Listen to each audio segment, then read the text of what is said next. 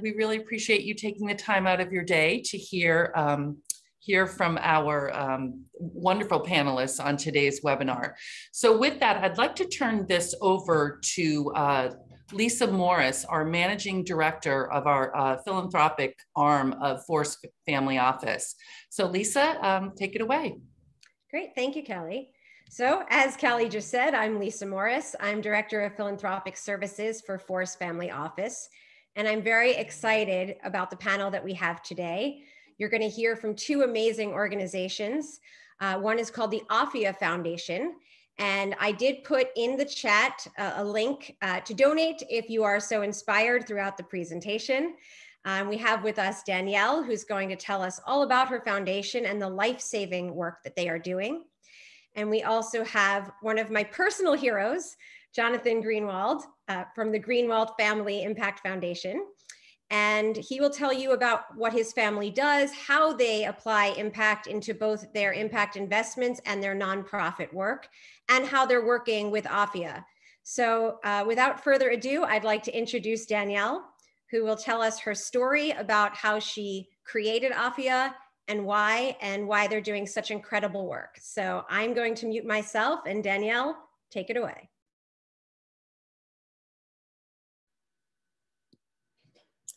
Okay, so thank you. And thank you, Force Family Office, for the opportunity to be here today. And by means of introduction, I am the CEO and the founder of AFYA.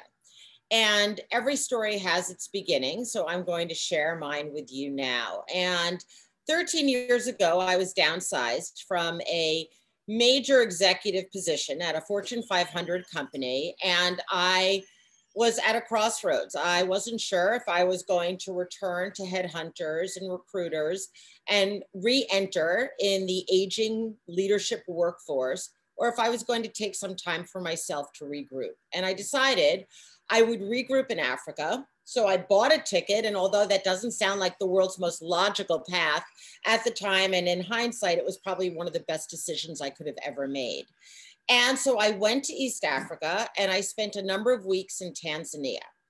And there, one night in the Serengeti Plains, I saw a woman crying in a tent by herself. She was drinking a glass of wine, and I sat down next to her and I said, Are you okay? What's happening here? And she said, I'm not okay.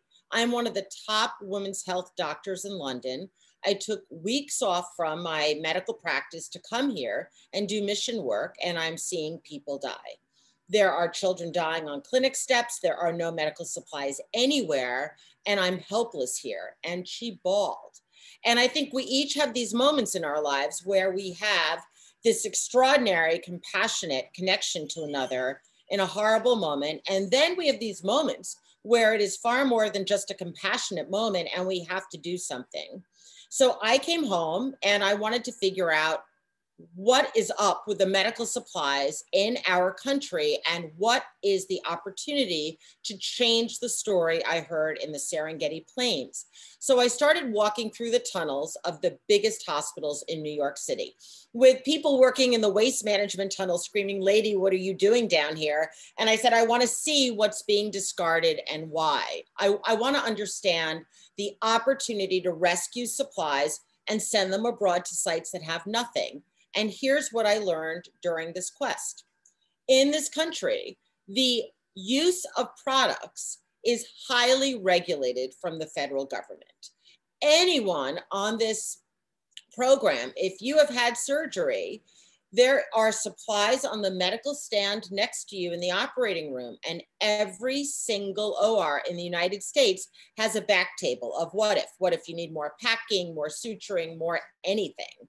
What ends up happening with those supplies because of regs is if they were around a patient, they must be discarded. So now we are looking at in the United States, these are not contaminated, hands have not touched, no blood contamination. We are looking at a 21.25 million ton opportunity of rescue before these supplies are thrown away. So these are the kinds of supplies that we're talking about. This is a chest tube insertion kit. This is a surgery pack. We're not talking about supplies that are unpacked. We're talking about supplies that are still in their sterile wrapping. And you juxtapose this in that clinic that I visited later on my trip in Africa, where they were doing an emergency C section there. And the doctor, midway through the section, said, Oh my gosh, there are no supplies to close. We have no sutures to close. And I said, How could you open a person's body without a way to close? And they said, We're going to use gauze. And they literally held up a four by four piece of gauze that normally looks like this and started pulling the strings out of this to become a suture to close a woman as she's having a section. Juxtapose that against the fact that these are sutures and boxes of these sit in our warehouse shelves. So the opportunity is an enormous one. And since we have started AFYA, and I named it AFYA to honor the land that whispered and inspired this work so that we could do our job at rescuing as much as possible. Within that 21.25 million ton opportunity, AFYA rescues 500 tons of medical supplies from New York's healthcare market every single year. And we started AFYA as a passion project in my garage in Westchester County. And today we are in three warehouses. We have about 40,000 square feet of space. We're running two trucks in and out of New York, and we have 20 in staff. And the mission has not changed since the beginning of our work. At AFYA, we truly believe that healthcare is a human right. And what that means then is that we seek to empower and change healthcare globally in areas that are compromised and horribly under resourced. It should, our means should not be our determinant around being able to seek out and receive healthcare when we are sick. So, what we do is we divert, sort, and deliver these supplies worldwide. So, how do we do this? Part of the magic, I believe, of AFYA is that we partner. We don't covet this work. We don't work in a silo. Our work is generated and improved because of the extraordinary partnerships we have in rescuing these supplies, sorting them at our warehouse, and then who we distribute them to abroad. Some of our partners to date have included Bloomberg, Regeneron, the CDC Foundation, um, UJA Federation of New York, the Office of Emergency Management in New York City, um, the New York State Governor's Office, and we will be talking about this soon, the Greenwald Family Impact Foundation. But we are stronger as a team than we are working in isolation. So, what sets us apart? What sets us apart is that we only send what people are asking us for. And this is crucial. I, years ago, I was on a port police boat in the waters of the Aegean Sea as people were fleeing from Turkey to Lesbos. And I remember sitting with the port police saying, What do you have to resuscitate children when you pull them from the water? And they said, We have nothing. We have absolutely nothing. We do CPR and that's all we have. And a month later, we sent them defibrillators and emergency urgent care supplies for respiratory and cardiac arrest. And it made an enormous difference in their capacity. Another good example of this was I was in Malawi and I was working with this incredible midwife in the bush with Partners in Health. And I followed her and I said to her, Gladys, you know precautions for HIV. Why are you barefoot and you have all these open sores? You you know, you know. And she said, Of course I do, but I can't do anything about that because I don't have enough money to buy shoes. I have enough money to keep my children sheltered, to buy food, but I don't have money for my own shoes. And I'm an occupational therapist. And so much of the governing philosophy of AFYA's work is based on a huge scan of what is out there, what is needed, and how can we match with product to make a difference. And I thought, I'm never going to get surgical boots from any of the doctors we're working with because people wear them to their last breath. Um, but what would be a substitution? And we decided to start collecting used rain boots because they have the same protective nature and product. So now in the bush in Malawi, these remarkable midwives are in these bedazzled neon boots and they are protected as they bring in life. And so those products are combined with the medical products that we're sending, but only sending people what they ask for. That is a key to the work that we do.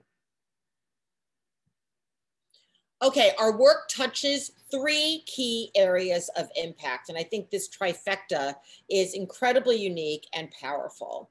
Uh, the first and foremost is our work in global health.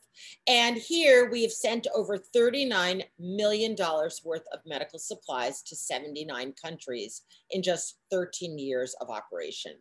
And I think one of the pieces that I feel strongly about with this work is not only are we helping people to change healthcare abroad, but I believe we are interrupting the exodus of very well trained doctors and nurses who have no reason to stay in these rural areas of healthcare delivery if they don't have the tools they need to practice their trade.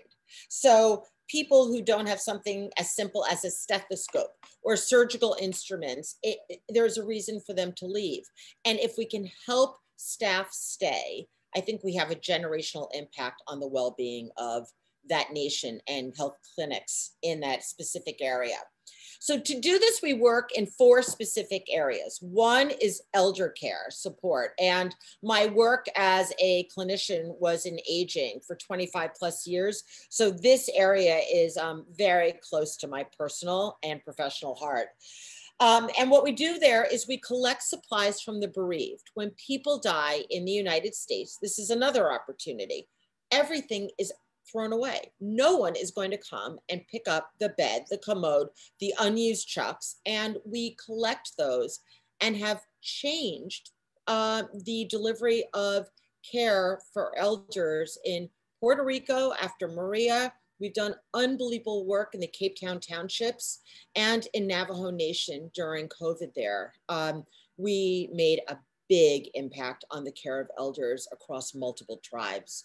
Um, so that is one piece. The next is healthcare strengthening.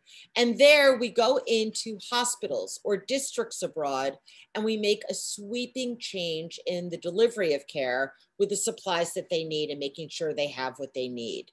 The third area is we are a safety net for the United States federally qualified health centers. And if we ever saw the disparity of care and the lack of equity, we are seeing it in COVID um, in our country. And we have made our products available to the federally qualified health centers serving the poorest communities in our nation. And, you know, we helped Harlem United during COVID, and they said to us, in addition to keeping our staff protected, could you please give us ambulation devices, canes, walkers, crutches, wheelchairs?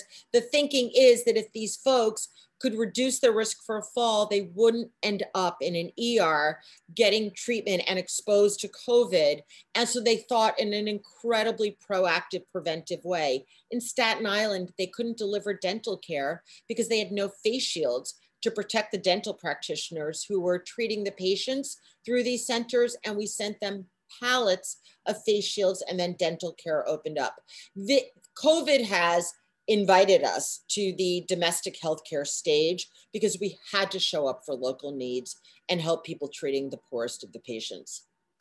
The fourth area is our disaster hub. And with climate change and what is happening in our world, disasters are happening on a far quicker, more rapid, more catastrophic level these days. And we are pre positioning, we are very well set up for our ability to respond. And we've become the place where many folks in New York donate their in kind supplies so that we can move them quickly. The second area, and we talked about this earlier, is environment. Our ability to become the one of the major greening solutions for the hospitals of New York is a significant one. There is no reason for these supplies to be incinerated and buried in landfill. And we have about 20 unique major medical systems in New York, New Jersey, and Connecticut who donate steadily to us to the point where they are running trucks of pallets into AFYA when they have a surplus of inventory that has to be moved. And I think what's really unique about this is New York Presbyterian, Memorial Sloan Kettering, NYU, um, Sinai, Monty, Einstein are all finding their way to using us as a viable solution, as are private doctors, nursing homes, corporations, um, and closing hospitals. And when the New York City Health and Hospital Corporation closed two of their big hospitals in the city, they gave them to us and said, decant these hospitals. And we had containers running in and out of those loading docks for weeks as we put post-its and stickers on this color goes to Ghana, this color goes to Tanzania, this goes to South Africa. And I think what's really important here is we have prevented 11 million pounds from being thrown away for no reason at all when it could save someone's life abroad in the New York metro area. And finally, and this is a beautiful contribution of the work, is our community. And um, I am a firm believer in the transformative nature of altruism. And as a therapist, um, I have seen in the giving to others is the giving to self. So we have thousands of volunteers at AFYA every year helping us. COVID has made that very challenging, and we've had to model in very creative, innovative ways around this. But they are our, they make it possible for us to have this impact abroad. And so amongst those, they are students, Boy Scouts, Girl Scouts, um, retirees, universities, corporations, and we also have an extraordinary program um, for people on the spectrum, people with IDD, um, long-term psychiatric illness, they have to be given a chance to give back as well. And I think if any population that comes to AFYA understands this the best, it's probably them. This in the giving to others is the giving to self. And I supervise 12 to 15 graduate occupational therapy students every three months doing their field work at AFYA and they work one-on-one with these folks. So they come to AFYA and then all of a sudden people are interviewing and securing employment. And we realize the power of this, just where do you get a chance to save someone's life? And they are the last hands to touch these supplies before they are shipped abroad. And there is extraordinary power in just that. And now we are starting to do more and more work um, with the prison and the incarcerated population. We are bringing sorting into the local jails, and we are working with people on probation and parole to give them the same opportunity. Um, it is um, it is an opportunity to get your hands into sorting and moving supplies, preparing them for shipment. Nothing that comes into AFYA is in a nice, neat, clean box. So we are getting bags of multiple products in these supply donations, and it means that all hands are on deck helping us to make this a reality. So your impact is greater with AFYA. Um, and importantly here, I we all believe that we offer an excellent return on investment by making these customized deliveries available that are valued at a minimum of three to four times what it takes for us to recover, pack, and ship. So investing in AFYA means that there is going to be a generational impact. If we can change one mother's story who safely delivers her child, then we impact the generations to follow from that family. And why we are thrilled to receive financial donations, there are some key areas where we are now looking for help and I'm going to share some of those with you, hoping that this will spark um, some connections that could really further benefit and build our work. The first is we have grown now from over the years from literally my garage to being in 40,000 square feet of space. And we are in need of a supply chain Six Sigma ops specialist who could come in and help us look at these three warehouses and the incoming of goods, the packing, the staging, and the shipping. We need um, we need a renovation of processes, and we need an expert to come into the fold and help work with an amazing committed team. This is not about winning over the team. The team is begging for it. So we are ready and primed for someone to come in with this expertise. That's one. Two is we need introductions to people with planes, trains, and automobiles. That was a great movie. And now we need help in all of these areas. We are working closely with JetBlue on disasters in the Caribbean, and they are our partner where we load up planes with the supplies and they are able to deliver it. But anyone with private planes that when a disaster hits would be open to carrying in cargo anyone with connections to South Africa Air or KLM or Delta or the big airlines that fly into Africa would be a game changer for us. Similarly, container shipping lines, Maersk and others. Um, and finally, I've been trying to crack this nut for years. Target, Walmart, Kmart, big national trucks with dead space on one of their routes. And if we could access one of those routes, it would it would make half of the domestic work we're doing different. Um, it is an enormous process trying to find ways to get domestic trucking reduced or donated to us. And a perfect example of this was Cedar Sinai a number of years ago was redoing their ER in LA and they offered us the supplies and it was going to cost way over $10,000 for us to move from Cedar Sinai to New York. And it just becomes an unaffordable prospect. But that's where we could really use help with people who have connections and can innovate with us around the logistics of international and domestic um, transport. Next is we are building our corporate and social responsibility context, and we would love more. Uh, we, during the beginning of COVID, we did remarkable work and are continuing with Regeneron. And they funded our work. They had a huge sort and are having another one with our supplies outside under an open tent at their corporate headquarters in Westchester. Um, and it also provides an opportunity for employees to help us collect the ancillary supplies, for example, that would make a big difference in the shipment that we are sending. We just did a big project with um, the Bloomberg um, Corporation and Foundation, and they funded our ability to get supplies out to Navajo Nation and they also, the Welcome Back to Bloomberg corporate event was 500 of their employees making 10,000 kits for us to send as pre-positioned hurricane preparedness kits.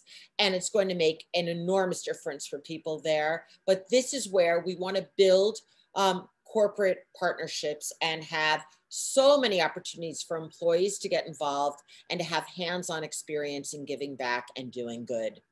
Uh, influencers and potential spokespeople who can help us get the word out. Uh, we have had so many people come to AFYA and literally walk into the warehouse and say, This is unbelievable. Why didn't I know about you?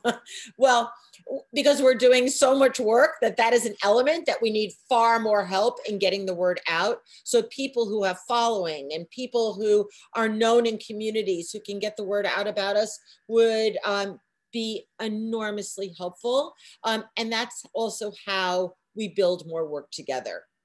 And finally, we are welcoming constantly introductions to family foundations or giving circles that align with the many tenets of AFYA. I mean, you heard about our environmental work, our global health work, and our community building work. And I think there's a home here for so many in terms of where we can align.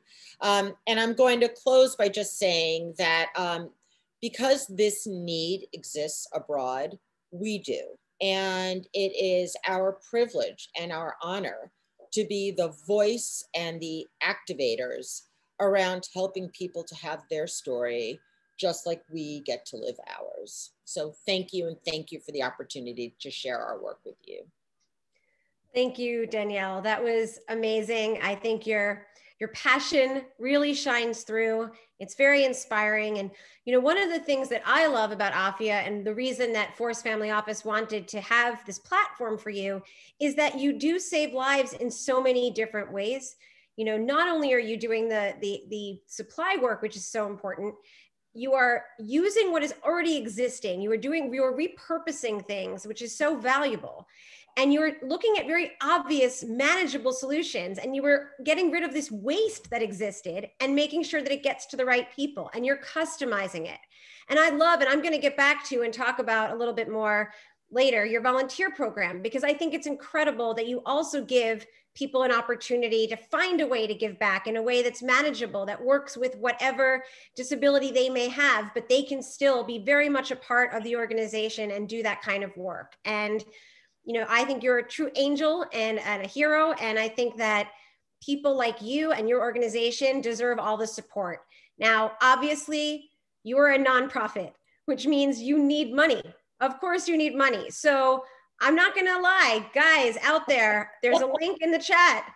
Please feel free to go on and donate. Please think about incorporating AFYA into your own philanthropic gifts over the next year or so. Um, they're an amazing organization and they deserve funding. But this presentation is much more about what you were just talking about, all the things beyond the check. And that brings me to Jonathan. Jonathan Greenwald, because Jonathan is someone who is very successful in his own right in his for profit businesses, but he found a way to use that success to create a foundation, to partner with other organizations, and to really do his part to change the world and to have return on investment and impact. And so, Jonathan, I'd like to turn things over to you to introduce yourself, your family, your passions, your work, your partnerships, and everything that makes you the magical human that I know that you are. So, Jonathan, please uh, take it away. Lisa, thank you very much for the very warm welcome, and thank you for the Force Family Office for this platform, and Danielle for all the amazing work that you and everyone at AFYA is doing. Um, my name is Jonathan Greenwald. I'm the managing member and founder of Core Asset Group, and we are a private equity investor. Um, we we uh, invest in a variety of different areas. Most recently, we focus on um, impact investing around um, environmental issues. Um, several years ago, we've uh, several years ago, several of our portfolio companies were manufacturers of, of multiple products and supplies and um, we were partnering with local charities, communities, and others to provide them um, and assist on an ongoing basis for particular drives. Um, during during the last hurricane in the Bahamas, Hurricane Dorian, um, it became apparent that we can be doing a lot more. So through one of our portfolio companies, and that's one of the things that we look to do. So we look to lever our own portfolio companies to assist causes that we can make a difference in. So IC Formulations, we're a manufacturer of uh, wellness supplies, vitamin supplements, creams, topicals, lotions, others. Um, Hurricane Dorian hit the Bahamas, and we were able to thankfully be able to send over significant amounts of um, children's supplies, vitamin supplements, others. Um, we're based here in Miami, and through one of our other affiliate organizations, which I'll get to when we discuss uh, smart partnerships, we're able to lever a lot of existing supply chains, infrastructure, relationship contacts. Another one of our other portfolio companies is Integrity Hempceuticals. We're a manufacturer, we're a brand in the uh, also in the wellness space around um, di- different wellness products. Um, recently, there was the uh, Surfside building collapse and again, it's it's a, a terrible tragedy. We were looking for ways to assist people, so we had donated all sales directly towards the survivors and the families.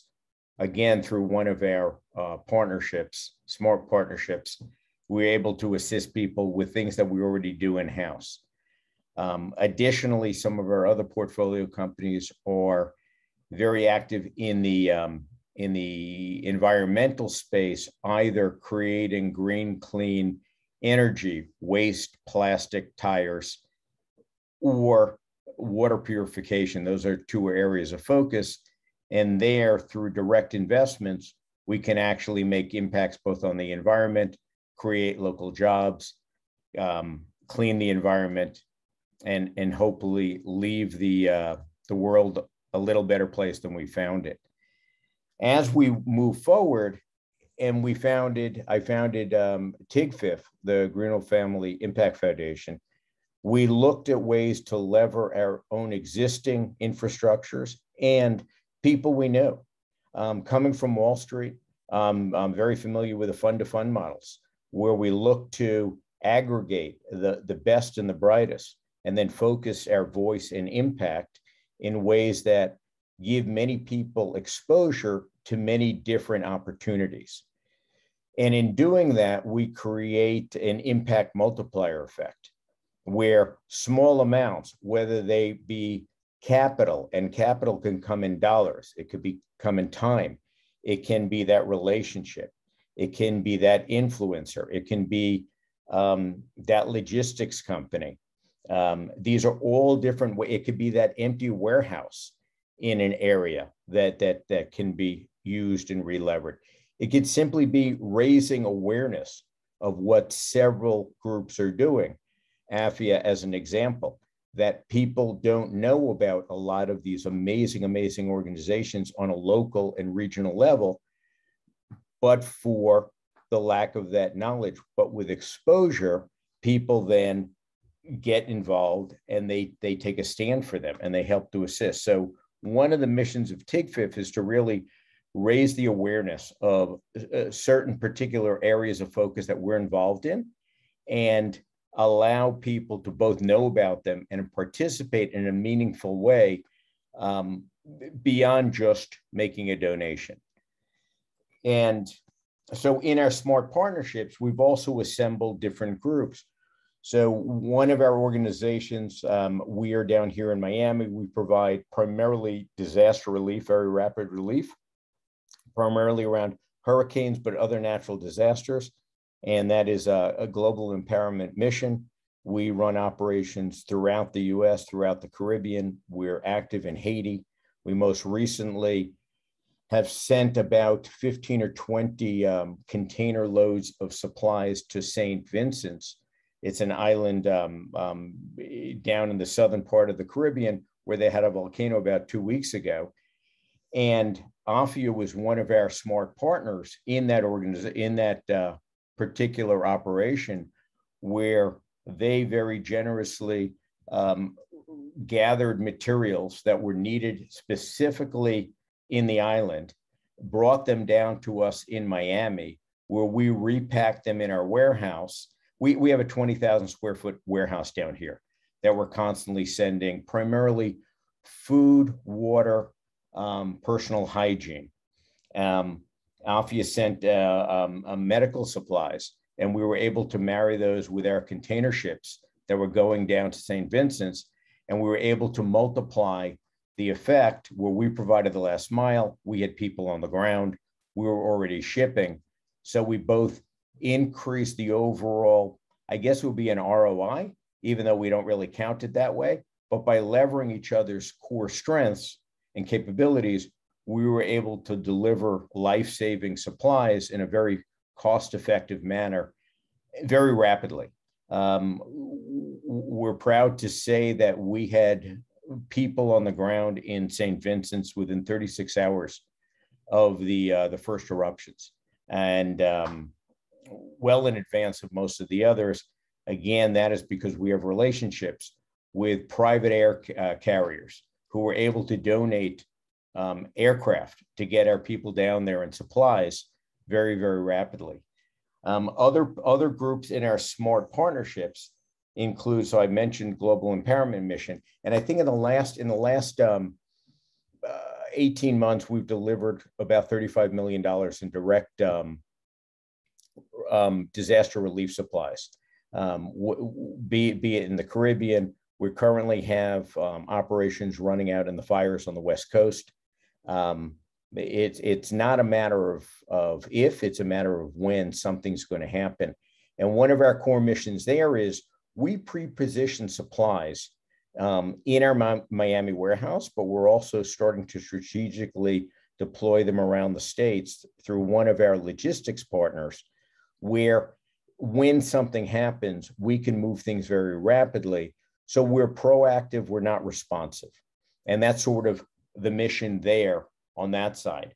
But we also do a lot of other things eh, where we we assist schools in Haiti, where we um, we've been supporting several schools in Haiti since the earthquake, where some of the initial um, kids, orphans who were in the school are now in college, and we continue to pay the tuitions, give them a stipend, support their families.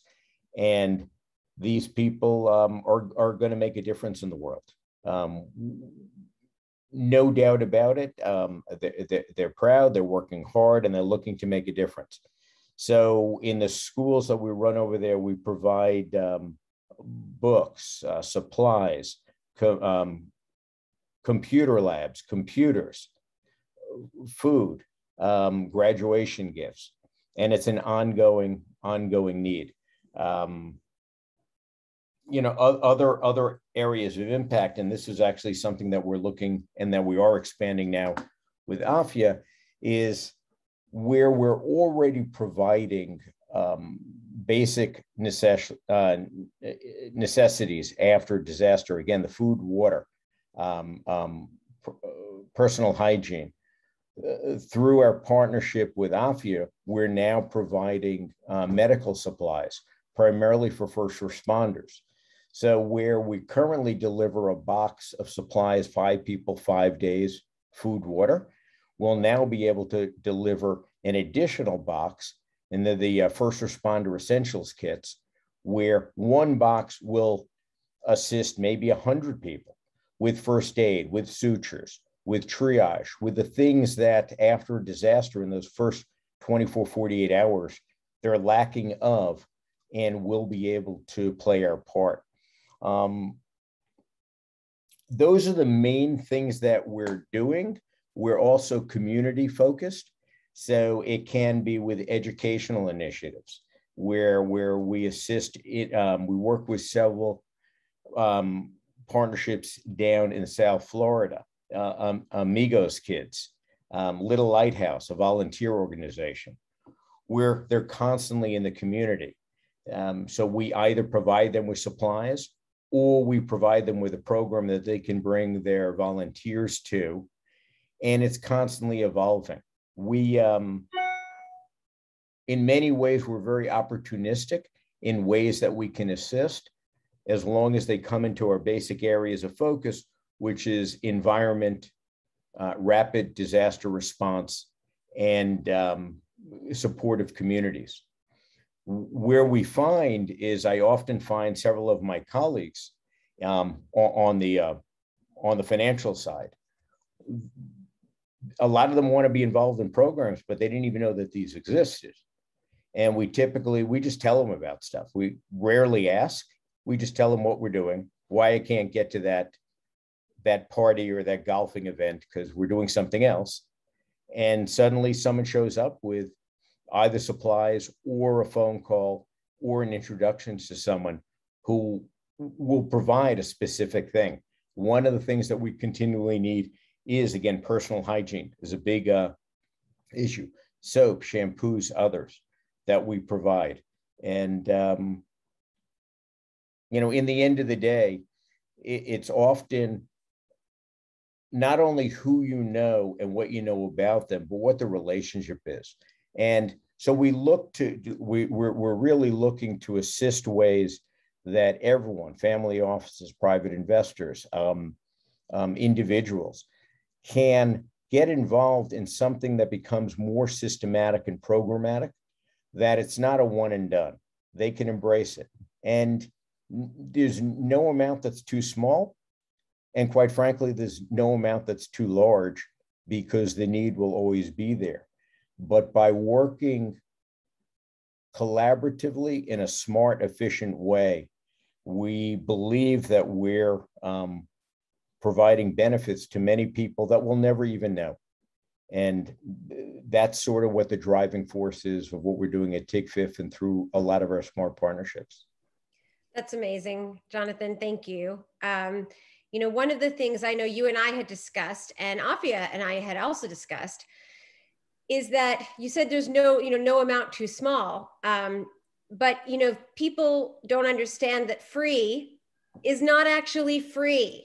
And this is a really important thing I want everybody on this call to pay attention to. Even when we repurpose supplies, even when generous people donate shampoos or donate equipment or donate anything else.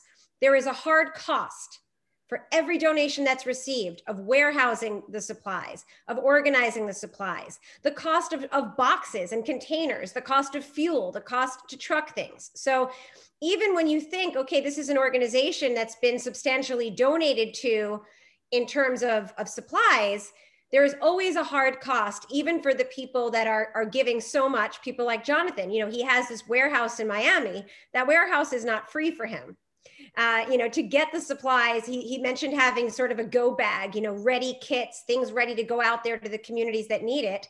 Somebody still has to pay to get it there. And so one of the things and the discussion points, I, you know, I, I love that AFYA and Jonathan have managed to um, meet each other and find ways to work together. But that's the main thing we really want to talk about today. Again, please support financially, 100%. They really need it. But think about who you know, even if you don't have a dollar to spare, everybody has relationships. I know this.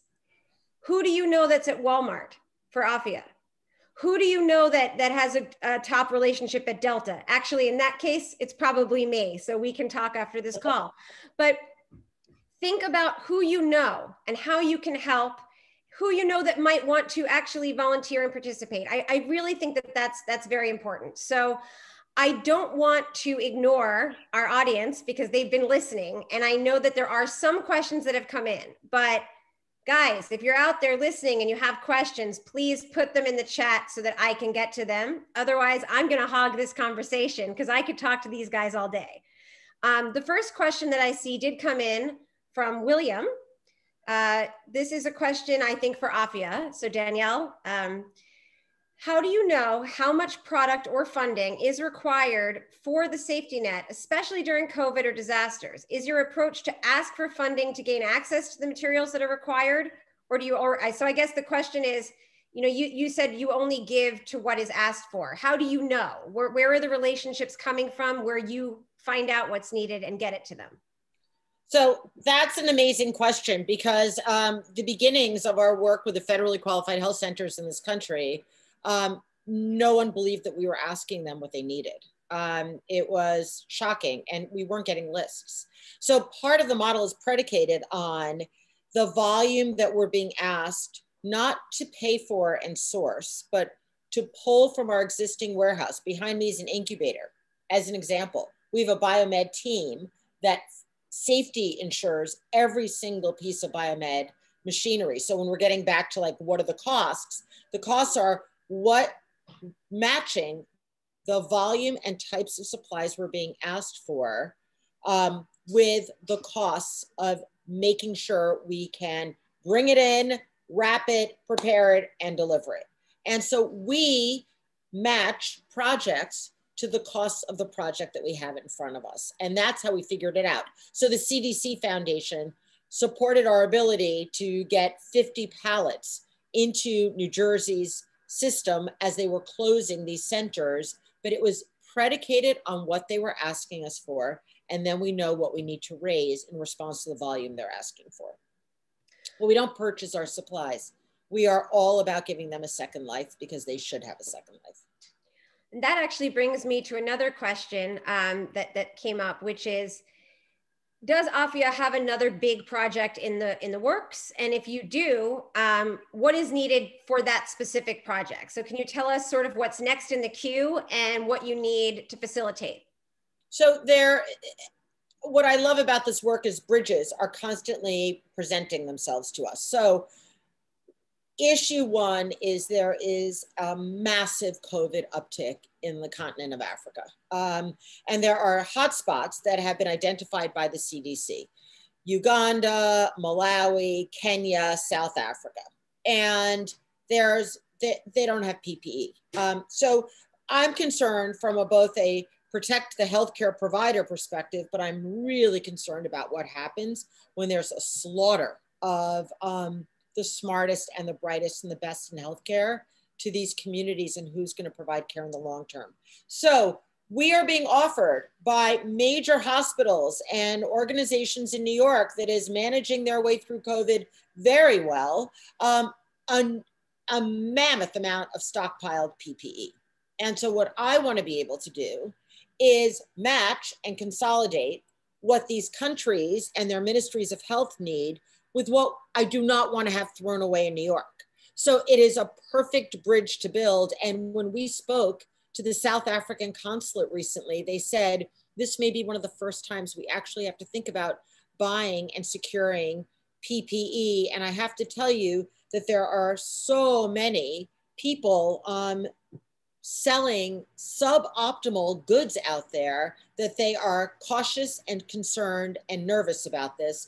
And so we had a whole conversation about you can count on us because we insist on certificates for everything that we've ordered or anything that's been given to us to date is um, meets a quality level of PPE. So Lisa, I need to raise $250,000 so I can move at least 100 pallets of PPE that is worth way more. I mean, it is like, it is way over, um, I'd say 1.2 million in PPE to these sites so that we can start to protect their healthcare staff. Because right now they are exposed and they are getting sick and they are dying. Yeah, and look, everybody read articles about how much fraud there was in PPE, how many, you know, people were jumping in to make a buck, to make money, selling fake product. When, when it's coming through you from the hospitals directly, you know that you're sending safe equipment. And that can't can't be undervalued either because they could get taken advantage of, spend money they don't have on product that actually could hurt people. And with you, they have that that security and that and that that assuredness, which is incredible. Um, one of the next questions, uh, this one looks like it is for Jonathan. Um, can you dive a little bit more deeply into what you mean by smart partnership? And I'm tacking on to that question. That was the question. But when you say a smart partnership, how do you identify the companies that you can have smart partnerships with? No, great, great question. Thank you.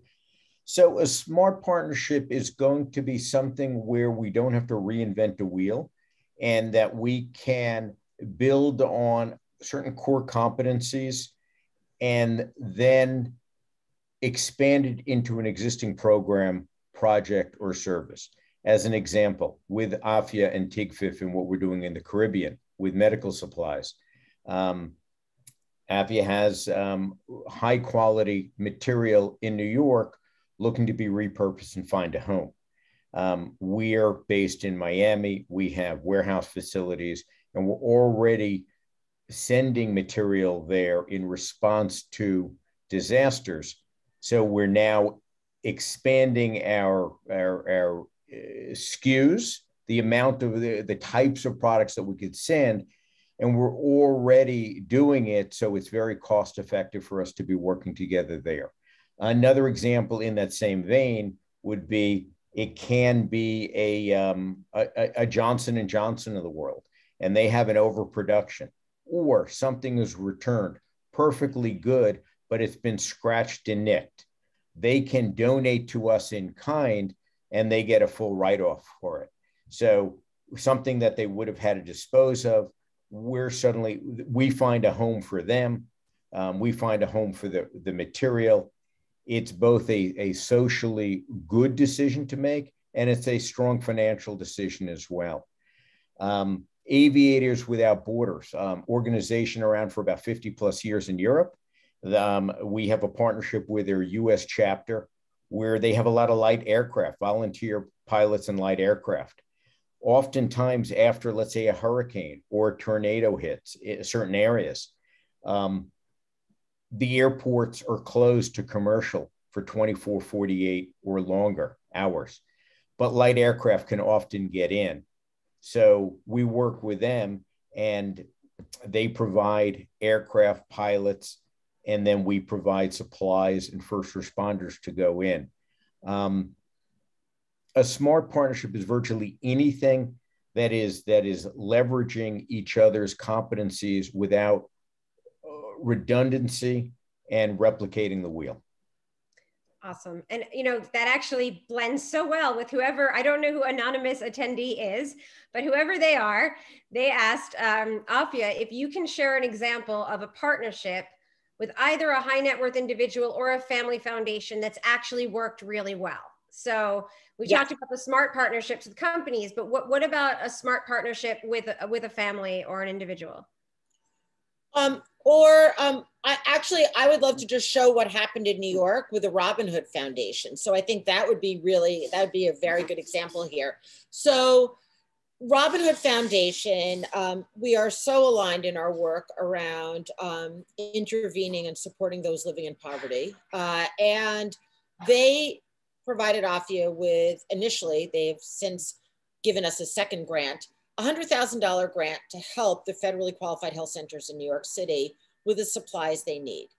And this was a time where, um, A, New Jersey federally qualified health centers were closing because they didn't have the supplies they needed to stay protected or to afford purchasing enough to deliver care. One, two, in Brooklyn, there were two major health centers out the gate that had an 80% COVID positive rate. So who was going to treat the patients in that community? I mean, it was it was layers deep and becoming increasingly disastrous. And one of the things they said was we don't have enough pulse ox. Like we don't do this kind of assessing of this level of pulse oximeters in our centers. It's not normally a need.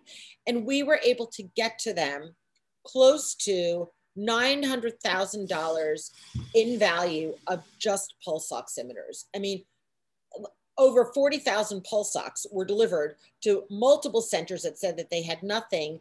And so what it did was it was an alignment of this is who we are all interested in helping. And the investment in our ability to help them turned out to be close to a million dollars in delivery of goods that these centers would never have been able to afford. And you know, just the, the use of the term investment. I know there's a lot of investors on the call and you know we all measure things in in roi but like let's not forget about roh you know return of heartbeats return of, of lives that we save yes. return of of actually feeling connected to a society to a people to a world and i really think that you know marissa if you don't mind putting the slide back up that just kind of shows the beyond the check asks that AFYA has um, and jonathan i can just ask you verbally we don't have a lot of time left so i do want you guys to have an opportunity to just remind everybody because this this whole topic is about beyond the check. Again please send money but beyond money what can anybody on this call do for you today that might be really valuable? Like i know you you put pr contacts and, and influencers. So you know my actor friends who do we know that's got a big platform? Um, danielle i know you mentioned to me lin-manuel publicized work yes. and it, it made a, a, massive difference. So I mean, that was a creative, and that was that was that was a moment of just beautiful, innovative thinking from someone on his team. Lin-Manuel brought Hamilton to Puerto Rico after Hurricane Maria, and it was a means of fundraising for the arts that were decimated on the island following the storm. And so, he, uh, some a member of his team said, we have all these people. Atlantic Records was going, congressmen and women were going from DC.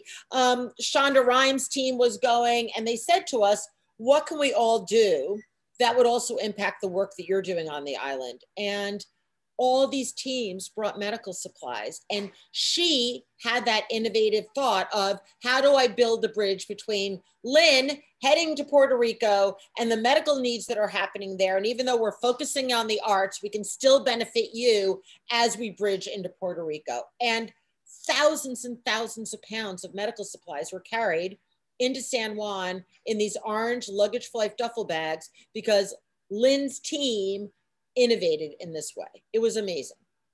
So again, who do we know in PR that will donate some time just to get the word out that AFYA exists? I'm a New Yorker and I'm really into philanthropy, and I didn't know about AFYA until this year. You know, and Force introduced Danielle and Jonathan. And those are the magical ways that we can help. So anyone with contacts in aviation or trucking, I think that's going to be helpful to both Jonathan and to Danielle. Um, people with with warehouse space i mean jonathan i would you know you can speak for a minute about what you need i know you have a warehouse but that comes with things what what could really help you in terms of um, people on this call no, no, absolutely. So down here in Miami, so we we just um, we had a ribbon cutting about two months ago for our new warehouse. It's about twenty thousand uh, plus square foot, and we've outgrown it. Um, and now we're looking for additional space. So if someone has underutilized warehouse space in the Doral area, um, We have both a professional staff. We're primarily volunteer driven, but we do have a professional staff. So we do we um, we have operating expenses, whether it's uh, uh salaries, insurance, rent, other things. Um, again, there really is no shortage of the need, but we definitely do need additional space in the Miami area. Okay, so real estate guys and girls, you heard it. You have space. Get in touch with Jonathan. I want to hit up again consultants in supply chain management. So many of you own businesses that have a deep supply chain. Please, if you have resources, if you have a consultant, if you have someone that can help them streamline, let us know. Um, obviously, introductions to family foundations. We're going to do our best for you there. Um, but, but please, you know, contacts in CSR of companies. Who did you go to college with that's working in CSR? Check your own LinkedIn, see who you can connect them with. Um, we don't have a lot of time, and I did want to get to the volunteer program, which we didn't really get to speak about. But again, anybody on this call, feel free to follow up with us at Force Family Office. We can connect you directly to Jonathan and directly to Danielle. Please, please let us know how you can help. Even if all you can do is post about it on your social media, even if all you can do I mean, if one more friend tells me they have a podcast, if you have a podcast, please use it. Um, and you know, get in touch with us. We will connect you with AFYA and Jonathan. I wish we had more time. You guys were so compelling. Um, we do have to, to say goodbye, but again, anyone that's on this call, you can follow up with Force. We can put you in direct contact. Please think about who do you know? What can you give? How do you help? because the return on this investment is massive. As Danielle said, three, four, five times the amount of supplies given is the effect that we have. So we do have to wrap up today, but thank you all for joining us. Um, we love our Force for Good series here at Force Family Office, and together we really can make a difference. So thank you guys so much for coming today, and please do follow up with us. And Danielle and Jonathan, thank you for your participation. You're both incredible. Thank you very much for the inclusion. Thank you. Thanks, everyone. Have a great day.